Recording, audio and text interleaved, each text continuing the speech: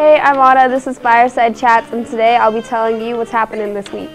Monday, we'll have almost all choral night in the gym at 7 p.m. unless the boys' basketball teams goes to state. Hoping.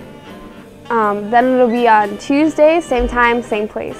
On Friday, we'll be having boys varsity meet at 7 p.m. at Cornell College. Saturday, there will be the Fort Madison Show Choir Invitational at Fort Madison.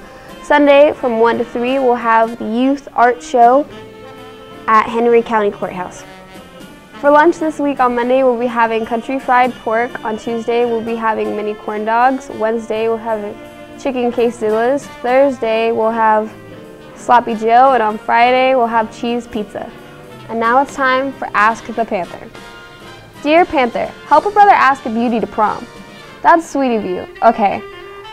They're called promposals. You propose to someone, in your case a dime, and ask them to and ask them to prom in a very cute way. Ask her to go get some food. I think Chinese Hy-Vee would work. Everyone loves Hy-Vee Chinese.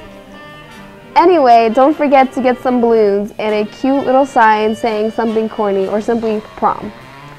Usually the answer will be a bright smile following with a yes. When you have a promposal, food is very important. Any kind of food, really. Good luck and stay golden. Sincerely, the Panther.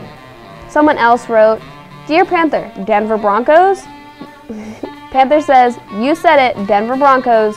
Peyton Manning is a boss. Sincerely, the Panther.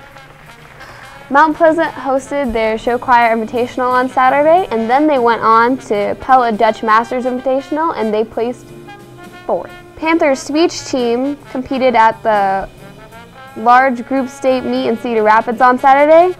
Everyone had a good time, and the improv team got a perfect score from all the judges.